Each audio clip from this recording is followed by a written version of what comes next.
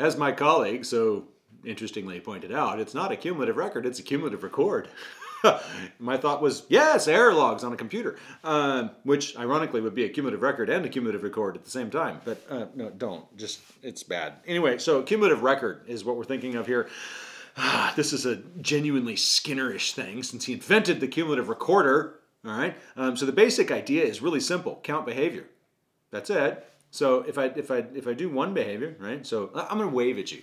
Hi. So there's one behavior. I can wave at you again. Now there's two behaviors. I can wave at you again. Now there's three. I wave at you again. There's four. I wave at you again. There's five. You notice how my hand keeps going up? Well, on a cumulative recorder, it would do just that. The little pen would be tracking across the paper, and it would just go up. Every time a behavior happened, it would tick up, right?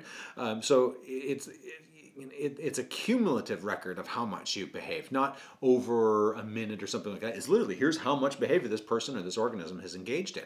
It's cumulative. You're adding it all up, right? So cumulative record. Uh, it's a useful, very useful tool, especially in experimental analysis of behavior or understanding rates of responding. Um, Skinner invented this tool, and the this is one of those situations that allowed him to actually understand uh, the functions of schedules of reinforcement. There's way more to it, and you're going to have to see a longer video for that. Goodbye.